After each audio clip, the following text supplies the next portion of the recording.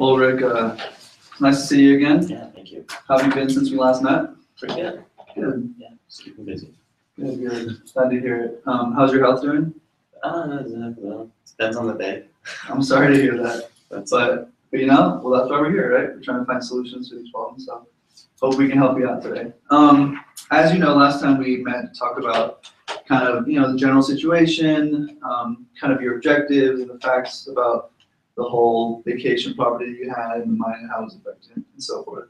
And now we're here today in what's called a counseling session to, um, basically, or essentially find, um, some courses of action for you to, to, to pursue so you can like find a solution to this problem.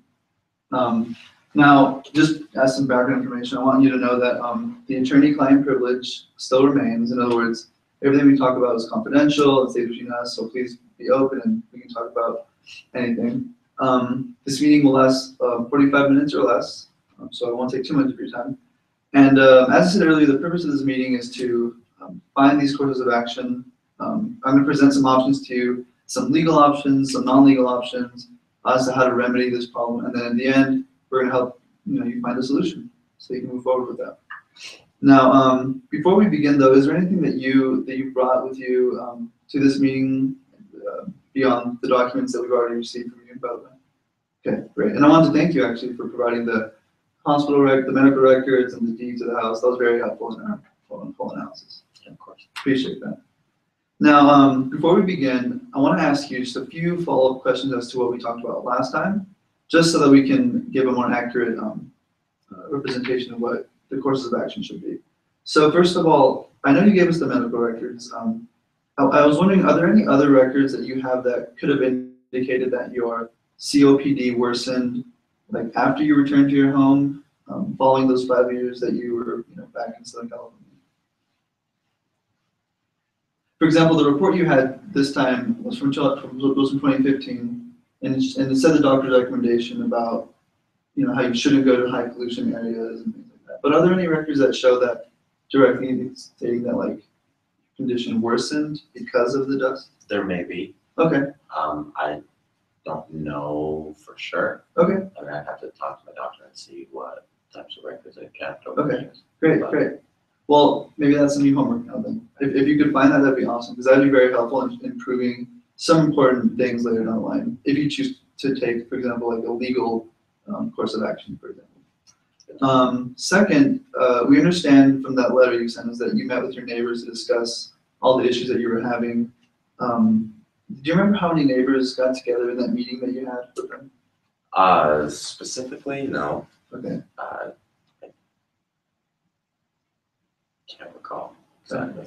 okay, that's fine. Do you, do you have like, was it like a, maybe like ten or fifteen people, I was, twenty yeah, people? there was a good number of us, Okay. and I didn't like count. Right, right, but- right. that would be weird. That would be good. Okay, okay, but you think a, a decent amount of people? Yeah, we had some steak barbecue. Oh, Well, thanks for the invite. Next time. So, okay, well, that's good to know. So you had a good, good amount of people there. Now, um, so, uh, so with that in mind, do you, would you be able to give an approximation of how many people you think have been disturbed or affected by the mine? I don't know how many people like live in the area Yeah. aside from like my closer Okay. neighbors. But you do know people who have definitely shared the same Oh, concerns. yeah, definitely. Okay. Definitely. Good to know. Now, lastly, we understood that you logged a verbal complaint with Mountain High Mining, um, and they didn't respond to you at first, unfortunately. Um, and now, I know you said that earlier, I was, I was just wondering, in the time that's lapsed since then, have you heard, have you heard back yet? I've not heard back Still? anything. Okay, okay. Um, that's unfortunate. I wish they would be more responsive, but once again, that's why we're trying to find the best solutions to figure out this problem and hold them accountable, right? So now, I wanted to summarize kind of what we talked about last time to make sure that I understand everything very clearly and without any errors. And feel free to you know, jump in as we're, and as we're brainstorming and figuring out, you know, the facts exactly how they are. So, um, if, if, if I'm not mistaken, you bought your home in uh, 2004, the vacation home. And then uh, you visited each summer after that until 2009. Is that right? Yeah. Okay. And then in that same year, you were um, that's when you were diagnosed with COPD, and uh, which caused you to stay away from your home for about five years. Is that correct? And um, according to the doctor's report, the initial cause of the COPD, in his opinion, had to do with your like twenty years of having that smoking habit. Is that right? Okay. And, and don't worry, there's no, no judgment here, know, that's, it, it's just important to know that for the, for the purpose of future elements that might have to prove and showing whether this caused it and this and that, but, but that, that's important information, and thank you for sharing. Um, the mine, uh, then was reactivated in two thousand and nine with, uh, the state of California's approval, and, uh, it's been active ever since, correct? Yeah. Okay. Now, uh, fortunately, we know that your COPD improved, um, over the course of five years, it's, a- it's a great thing. And, uh, after it got good enough, you returned home in twenty fourteen, right, in the spring? And, uh, and that was the first time you had been there in, in five years, correct? Now, when you got back there in twenty fourteen, was that the first time that you noticed that the mine had been reactivated? Yes. Okay. And then that's when you start to notice its effects on your health, right, and the property. And from that, we, uh, gathering the information we had, I deduced that the three major effects that you've had, or that you saw, was that there were, number one, high dust levels that made it hard to breathe and just go about your daily life. Number two, that there was the damage to the river that went through the back part of the home. Um, it made it unusable, it made it polluted, the mineral deposits, all that. And then lastly, the last major effect was that it had a negative impact on the nearby wildlife, meaning, you know, it pushed away animals and wildlife and just made it unenjoyable to them. Is that correct? Kind of three Just spot on. Okay, so that's a fair summary of kind of the gist of what happened? Okay, good. So with that in mind, with, with that factual scenario, um, there are definitely legal options that, that I found, um, that are designed to either completely stop the, the harm or the mining operation. And there are other options that could limit it, and other options that are non-legal that could also try to find a middle ground solution to leave you and the mine, um, relatively happy. So we're gonna go through each of those and kind of figure out what the best course of action is for you. Now, before we delve into the, the nitty gritty of the legal stuff, which may be boring, but I promise I'll try to make it fun. I wanted to re- to refine and clarify the objectives that you had going forward, because in the end, I mean, we want you to accomplish your goals, right? And that's the thing to keep in mind as you're deciding what option to pick. So based on our first meeting, I remember your first objective was that, um, you would like to essentially slow down or, or just stop, stop entirely the mining operation so that you can just enjoy your property, right, in peace and comfort, that you can enjoy the nature, the, the serenity of the environment, and just not have those negative impacts on your health. Is that correct? Is that kind of your primary objective? Primarily, I just want to be able, well, honestly, like, I just want to be able to enjoy my property. And I want to be able to go there and not feel like I'm gonna, I don't know, like, not get stressed out and frustrated going to this place that's supposed to be a respite. Yeah. Um, as far as necessarily like getting the mind to shut down, I don't know if that's necessarily my primary objective. Okay. Right? Because, I mean, I can see both sides of the coin here. The mine there, it's bringing a lot of healthy economy and growth to the area. Yep. Right, I see that, I get that. I don't want to screw that up. But at the same time, you know, there are people like me, me and neighbors, other people that are being negatively affected, our, you know, property values being affected, our health is being affected, our enjoyment's being affected, like all these kind of things, so. Yes and no to the Yeah. question. Yeah, okay, no, th- th- thanks for sharing, that's a good clarification.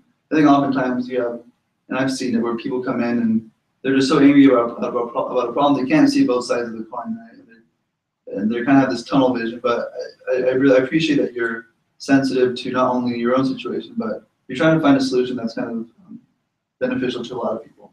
Yeah, if at all possible. Yeah, exactly, exactly. Okay, so to clarify, your, your goal is to enjoy your property and to have it enjoy it peacefully and without interference. But at the same time, you don't want to destroy the mine, shut it down, because you value its impact on the economy. All primarily, Yeah. yeah, Okay, I mean, obviously there's pros and cons sure, either way, right? exactly. Okay, But yeah, great. that's a fair assumption. And then, um, uh, and with that first objective in mind, is your second objective, or, I mean, in tandem, not to say one's more than the other, but to protect the environment and kind of hold Mountain High accountable for the impact it's had negatively on the environment? Definitely. Okay, great. So with those objectives in mind, um, has any new information surfaced since our last meeting that, that's made you either maybe develop another objective or kind of change around something that we didn't mention here? Or, No, other than, you know, like I was saying just now with kind of having a, a when I initially came in here, obviously I was that guy. I was a little bit peeved about the whole sure, situation. that's understandable. I kind of had that tunnel vision, yeah, right? yeah, Um, but I mean, I'm just one person. Yep. You know, in this whole, and I know life's not fair. you know, I don't expect, I don't expect it to be. I agree. But I, you know, that's just really the only thing that has changed per se is Mhm. that um, I've realized that there are other people involved here as well, you know, and my selfish motives aren't the only thing that matter. Does that make sense? Yeah. Yeah. Okay. In other words, and when you talk about other people involved, are you referring to people like the mine, the employees of the mine versus employees of the mine, I'm talking about all like, your yeah, neighbors? yeah. Yeah. I mean, I'm sure some of my neighbors, you know, at least in, in the town, you know, they're supporting their family, feeding their kids from working in this mine, doing, doing their job. Yeah, You know what I mean? And I, I get that. Okay, great. So I guess my last follow-up to that would be, would your ideal situation be to find a, a solution or a course of action that, that kind of, um, can accomplish your objective of, of having your, your enjoyment of the property while, while minimizing as much as possible, of course, the impact on the mine? Is that kind of the middle ground solution you'd, you'd be seeking? Yeah, I think maybe more even my primary objective here is hold them accountable for the impacts they're having on the environment and the Okay. area. Okay, which in turn helps accomplish my other objective of being Sure. able to enjoy my enjoy property. property, yeah. Right. Okay. Great. Thank you. Now, as I see it, um, with these objectives in mind, we have a few legal solutions and a few non-legal solutions that I want to present to you today. Okay. Now, in light of your objectives and how, how you frame them now, some, um, may definitely be less appealing than others. So as you're going, and you can even, if you want, you can even take notes. You're not required to, but as you hear stuff, if you wanna, you know, brainstorm whether you like, you know, a given claim or not, you can kind of rate it for yourself or just go along, there's about five of them that we're gonna go through. Cool. So first, um, the first legal action, cause of action that we have here that I found is known as what's uh, called a private nuisance. Now, this cause of action, um, have you heard of it before? Uh, A private nuisance? Not really, no. No worries. I didn't either until I went to law school. So a private nuisance under California law requires someone to show that there was some type of interference with their property. And that that interference was substantial, quote unquote, and that it was um, unreasonable, right? In this situation, a lot of things constitute an interference with property. You know, the high dust levels, mineral deposits and pollution to the water, things like that would easily satisfy as an interference. So you definitely would satisfy that. Um, the question of whether the interference or the injury is substantial, that, that's something that's a little more difficult in this situation. Um, courts have said that in order for an interference to be substantial, it must um, affect like the average person and injure the average person in a certain way. And it doesn't really consider the unique characteristics, characteristics of a given person.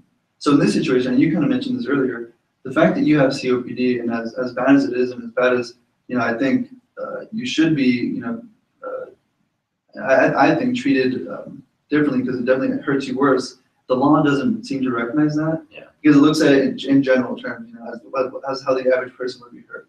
So in this case, the effect of the dust on your COPD analysis, unfortunately. Um, and lastly, the whole idea of whether it's an unreasonable interference, that all hinges on whether the impact on you, whether the injury on you outweighs the social benefit of the act. And in this case, and you mentioned it as well, the benefits on the economy, jobs and all that, we think that it's, it's unlikely that, you know, the harm to one person, uh, without even considering your health harms, would outweigh, you know, Right. The big impact on the economy. And, um, and once again, I, I'm, I'm not telling you what decision you should take, we're just trying to take an objective approach and understand the best ways of succeeding. And that's what we've kind of deduced that you would have, if you were to pick this option, roughly like a fifty-five percent chance of success. Okay. So it's not the best odds, you know, it's kind of like more likely than not, um, and it's for those reasons, you know. Right. We just mentioned. So that, is that, is that kind of clear at Yeah. this point? Okay.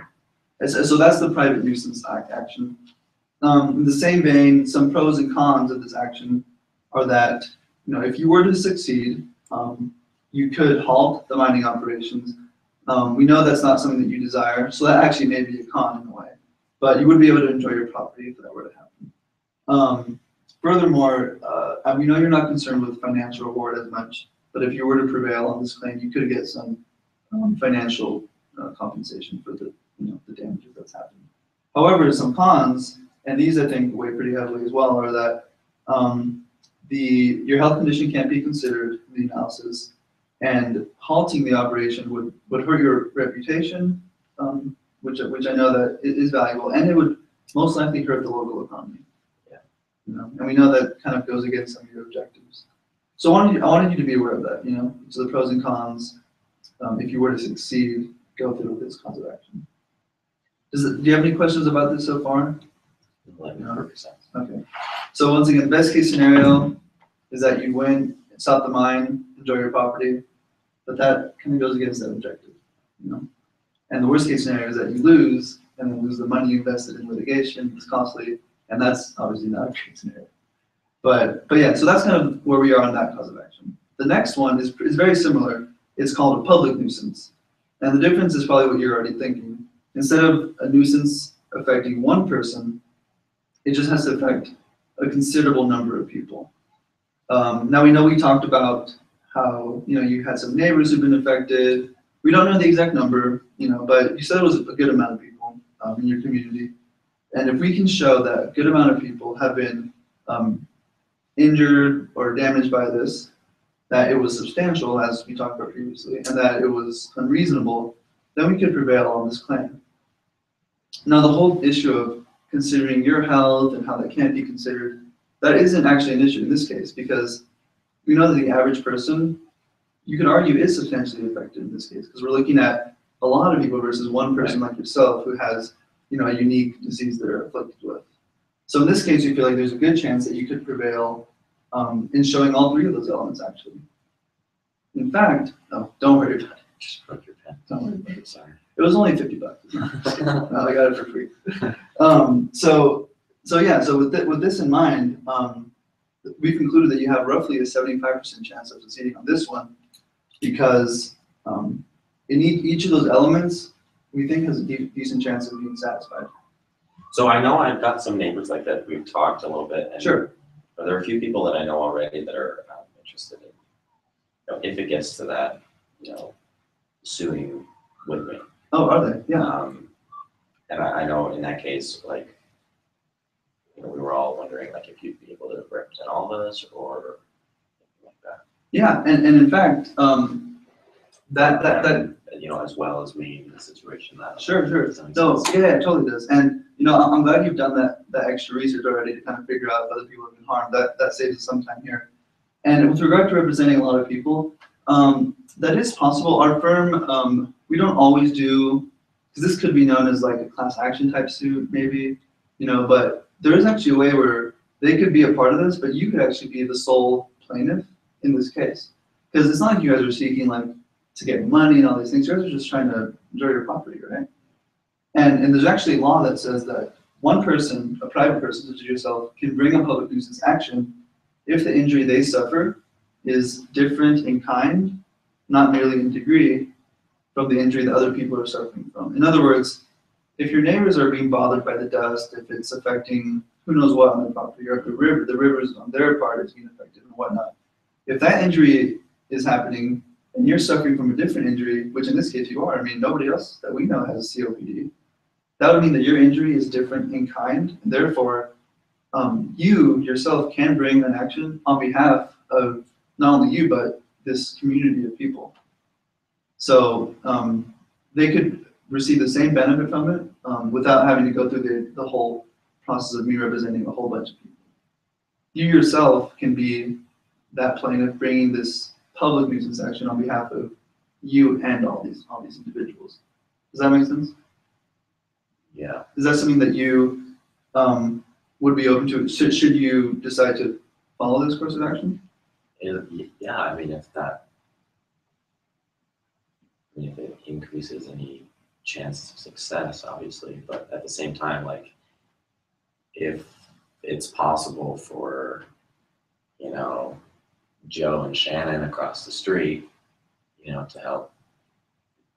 I guess what I'm wondering, I have no idea how Sure, this works, but like. Yeah. if they sue with me, Mhm. would you representing both of us, like, how does that work, like financially or as far as the?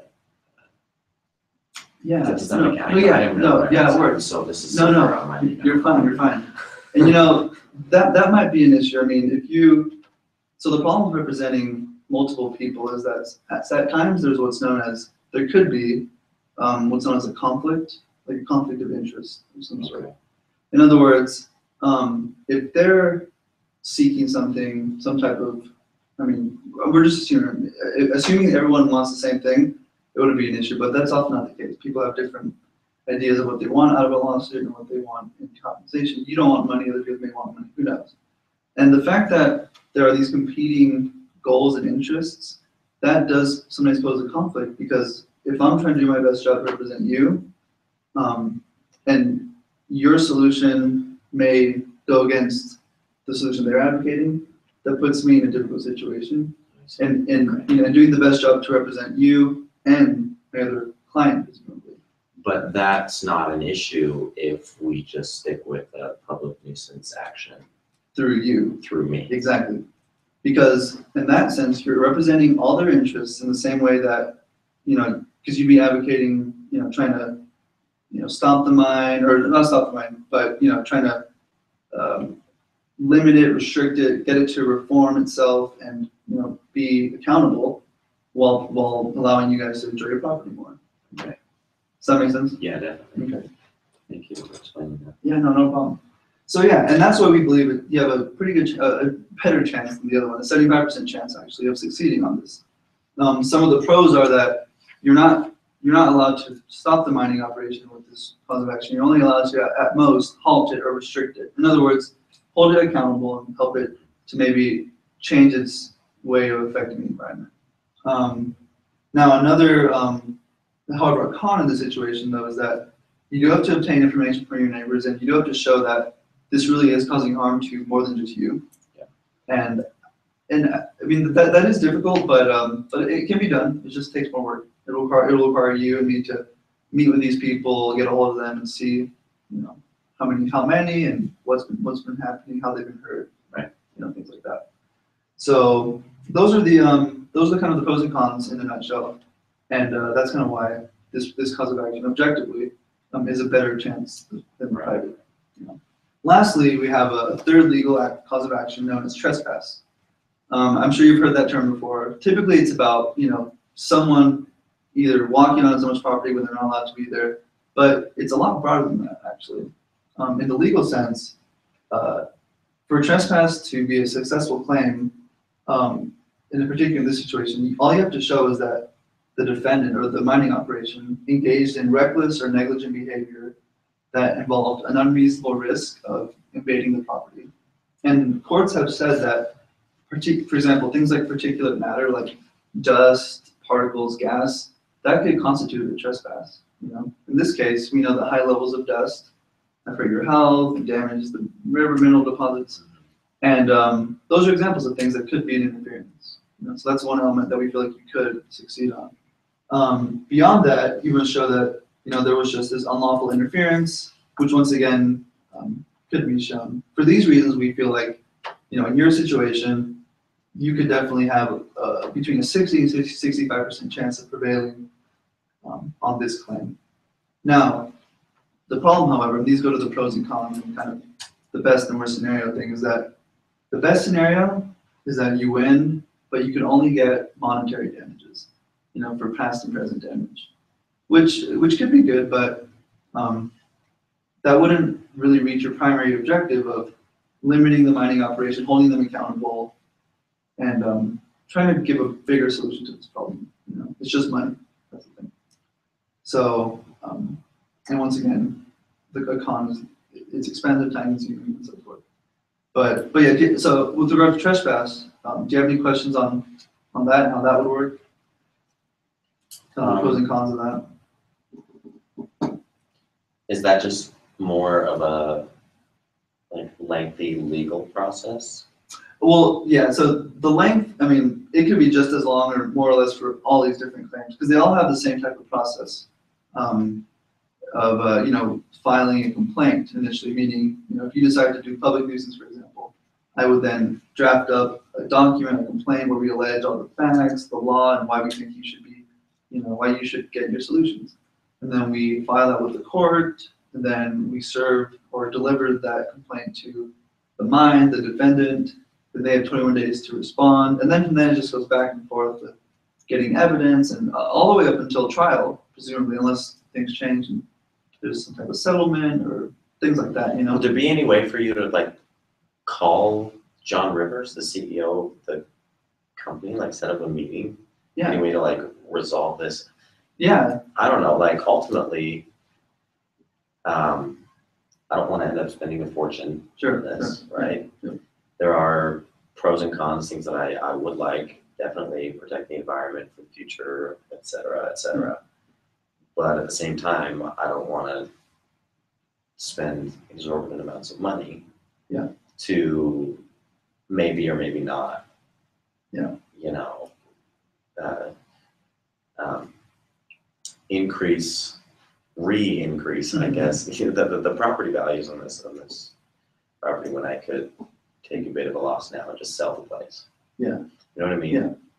I mean, ultimately, there's a bigger picture, Mhm. right? It's not just me. There's you know, environmental damage happening, but at the same time, you know, I don't want to spend years and 100s Mm-hmm. of thousands of dollars on something that may or may not make any difference when I could just. Yeah. So yeah, No, I agree, and that, and that's always a risk right, with litigation, you're right, It's- it's stressful, time consuming, um, and yeah, it, it could take a long time. So in, in fact, I, I like, I like your suggestion, because that was actually, um, one of my non-legal solutions that I was gonna bring to you.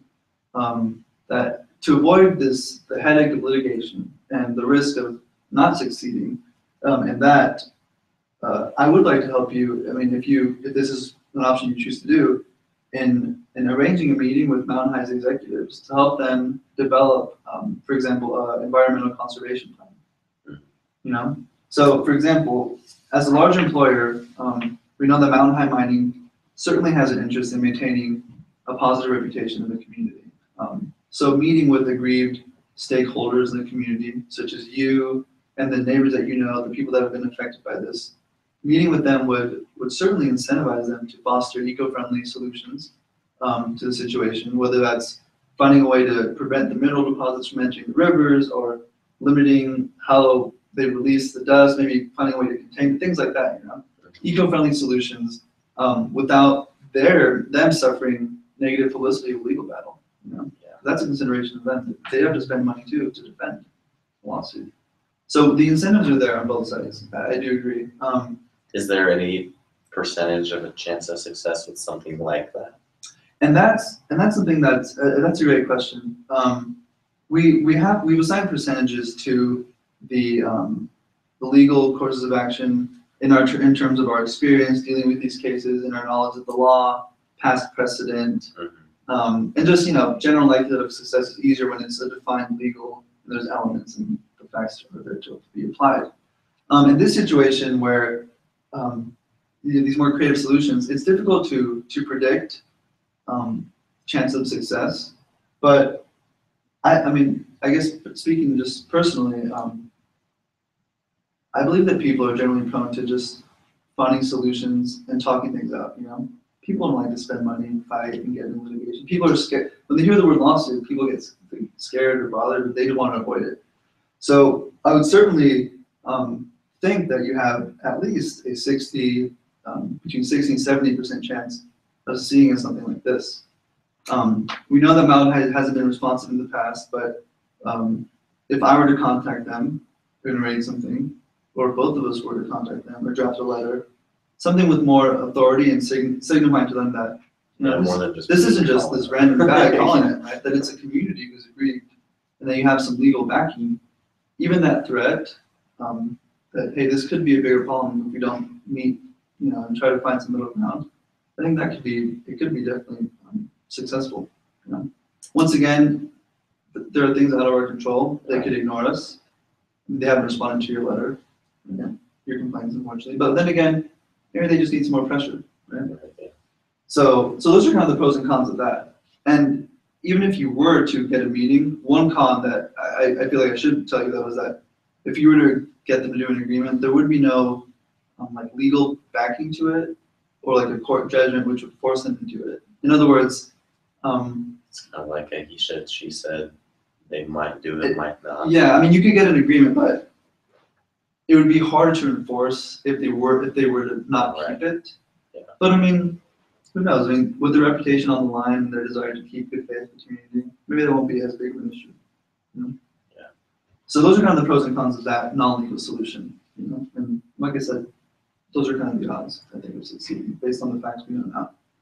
Um, along with that, another non-legal solution I thought of was, um, was you and your community, you and your neighbors trying to petition the zoning committee of the city, or the city council, whoever is involved with the zoning laws, to um, rezone the area as something, um, for example, as, as something that's solely residential. Does that make sense to you? Are you, are you familiar with how zoning laws work in cities? Yeah, a little bit, Okay. not a lot. Yeah, no, no worries. Um, long story short, zoning laws determine certain zones in the city in which certain properties can or can't be built. You know, whether it's, this is a place where only homes can be built, or this is where, you know, only corporate buildings, businesses can be built. That's kind of how zoning laws work. They designate areas. Now, if, if you and your neighbors, if this coalition of people, this, these citizens could go to this committee, um, and I could help you, of course, draft a letter, prepare different things to, to present to that committee, then, um, we could certainly try to petition them to, to redesignate this area, you know, as something that would, um, limit it perhaps to, to homes. Maybe it'd make the mine, um, have to relocate, and that could be a con, you know, considering your, um, desire to not disrupt the local economy, right? But, but, but that is an option, right? Uh, of going there, and it would allow you to, if you're successful, uh, avoid the cost of litigation and, um, enjoy your property as well as help your neighbors. But once again, that con, um, Yeah, I'm not, that already, con I'm is there, a, yeah. huge fan of Yeah. that option. No, and that's great, and that's the purpose of all this, to present you with options and help you ultimately decide what's best for you and your interests, and that's kind of one of the pros and cons help. So, no, thanks for being honest, that's great. So, you know, with that in mind, what, what, what are you think? I mean, after hearing these, what, what stands out to you? What, what option, or is there any option that you think would satisfy most of your objectives? Or all of your objectives? Um. I mean, going back to the public nuisance Sure. action. Yeah. That one obviously, from what you told me, has the highest percentage rate of chance of success. Yes. Um. Talk to me a little bit about how expensive and lengthy a process that could potentially be. Sure. I mean, I know you mentioned like the trespass claim would be relatively expensive hmm you know, just because it's gonna most likely get dragged out. But, you know, just applying the same metrics there to Yeah. public nuisance action.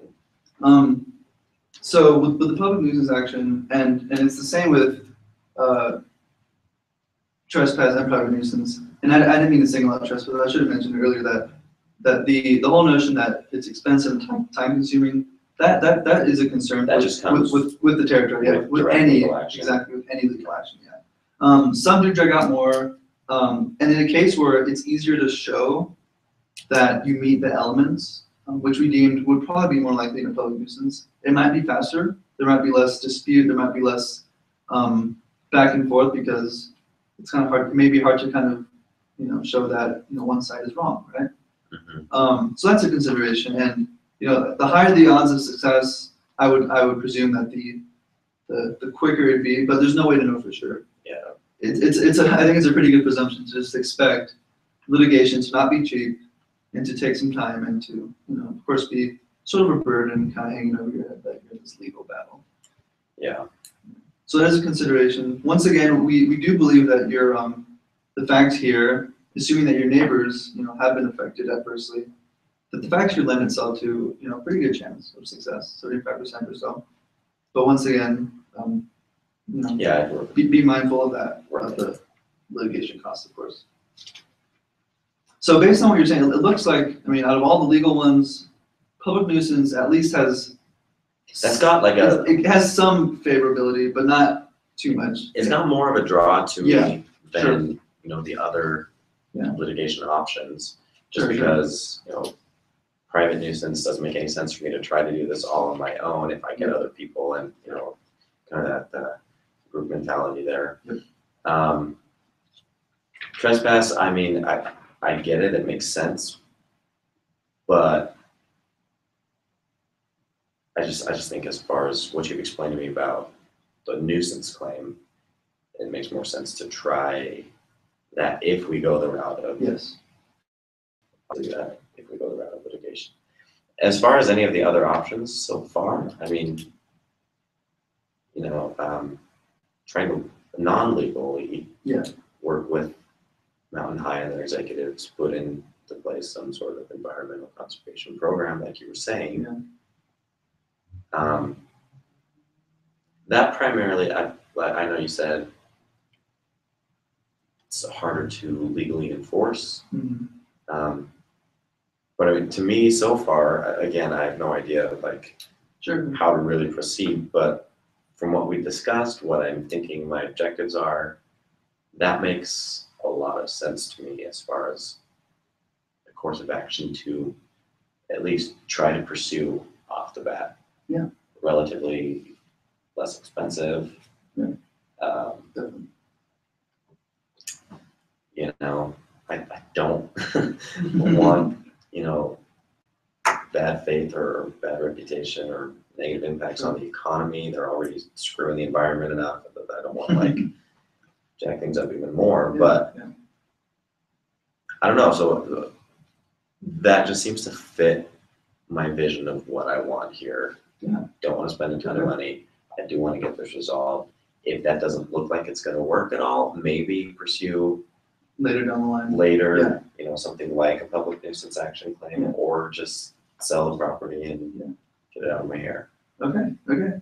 No, and that's great, and, uh, you know, I, I can see that you're being thoughtful about this, and, and yeah, um, meeting with Mountain High executives, um, it, it definitely would, it would satisfy your objectives, right? Hold them accountable to, um, you know, protect the environment, to not spend a lot of money. So yeah, it, it does seem to satisfy kind of what you're saying. So, I mean, as of right now in this meeting, because based on our, oh, sorry, we have limited time, is that kind of, is at this point in time? Yeah, kind of trying to meet with the executives and get that non-legal option going? Mhm. Okay, great. Glad we reached a decision, right? Yeah, Cool. So, okay, well, now I wanted, we we only have a few minutes left, but I wanted to, um, kind of talk about what we should do moving forward to kind of get the ball rolling here. Okay? So, once again, this is some homework. It's not a lot though. So I want you to, um, first off, contact your neighbors, see who else has been affected. Because we're gonna to get this coalition, right, of aggrieved community members. Because it's a lot more force and a lot more pressure on them if it's more than just you, right? Yeah. Uh, I want you to talk to those people, go to the people that you're, that were at that meeting that, that we found out about and see, um, you know, how, if they'd be willing to go to a meeting with you to maybe share their experiences, um, help us draft a letter perhaps, um, and obviously, you know, go in person like I said. And then once you've contacted them, um, please call me, let me know what you found out, what you learned about it, and then we can begin arrangements to, to set up that meeting. Okay. Does that make sense? Yeah. Um, my part of the deal will be to contact Mountain High, um, and arrange a meeting. And, um, and then I can go with you to the meeting unless you prefer otherwise. Great. You know, if we Yeah. set it up and it kind of gives a, a bigger, bigger force and a bigger voice to, to hold them accountable and to just find some common ground solutions. And we're not trying to, like you said, we're not trying to, you know, paint them as the bad guy, but we're trying to just show like, hey, if you want to be here, you know, we gotta be, able be able to co, uh, cohabitate, right? Or coexist together. Mhm. So, so yeah, so that'll be our homework moving forward. And, uh, and yeah, I'm glad that you've, uh, you're able to find a, a solution. Do you feel, you feel good about it? Do you feel like it addresses your objectives? Yeah, I do. Okay, great. Well, um, we'll set up a, an arrangement in a few weeks to kind of, um, touch base after you've done this homework and I've done mine and, uh, then we'll plan our next meeting. How does that sound? Sounds good to me. All right, Rick, is there anything else I can do for you? No, you've been very helpful. All right, Appreciate your work. appreciate it, man. Thanks for coming. Yes, you should me that. No worries.